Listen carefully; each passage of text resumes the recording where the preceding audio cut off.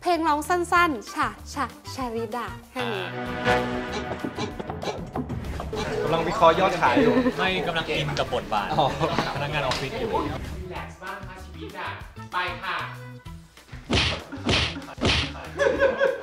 เขาชอบมาก เรียกได้ว่ายอด การทำงานกันเป็นสุดยอด โอ้โหต่างกันสุด ๆ ไปเลย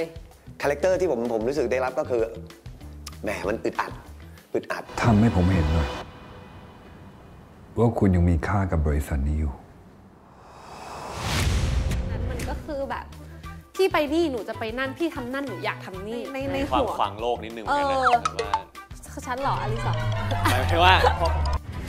พอแล้วคุณดูทีวีกด